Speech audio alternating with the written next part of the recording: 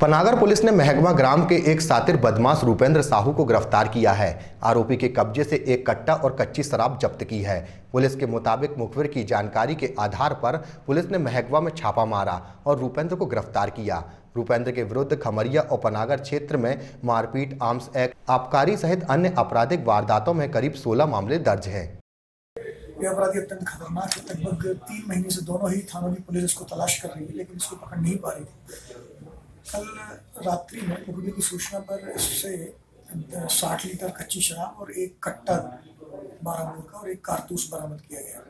बड़ी जद्दोजहद के साथ में पुलिस ने इसको पकड़ा है। इसने काफ़ी गुत्थम गुत्था करने की कोशिश भी करी पुलिस ने की कोशिश करी, लेकिन अंत अंतोगत्वा इसको पुलिस ने पकड़ लिया। काफ़ी खतरनाक अपराधी है। इसके ऊपर राजनी बम कांड मारपीट, रास्ता रोक के मारपीट करना, लूट और भी कई प्रकार के अपराध। इसके ऊपर जिला मदन की कार्रवाई, रासुका की कार्रवाई भी की गई है। और 122 की कार्रवाई के तहत भी इसको नोटिस जारी किया गया है। तो आज ही जेल भेजा गया आरोपी।